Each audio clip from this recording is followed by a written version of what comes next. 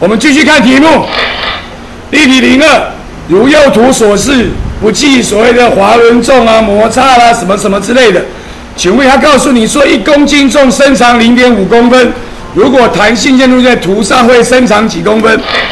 考卷题的重点是我告诉你的一句话，造成形变力都是什么？成双成对的，所以左边六公斤重，右边六公斤重，我们的说法叫做挂六公斤重，施力六公斤重，所以它就是六公斤重的施力，一公斤重会伸长零点五公分，所以六公斤重是多少？三公分，所以我们答案选 C。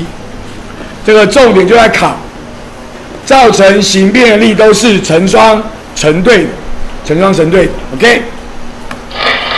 啊，所以这个要多少？这个要多少？注意一下，这个坐标轴跟你平常看的不一样。我说过了，只要考试是考图的，都先先看清楚，谁是纵坐标，谁是横坐标。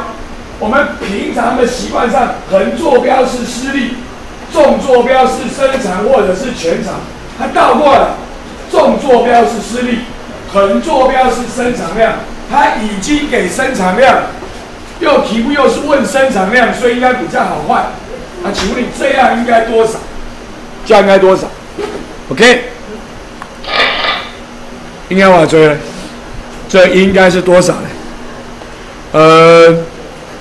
刚才，刚才说男生女生，女生，你换男生吧。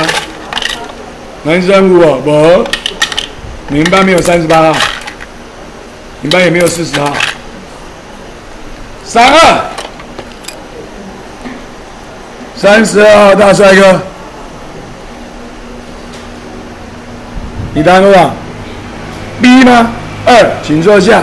你答案选 B。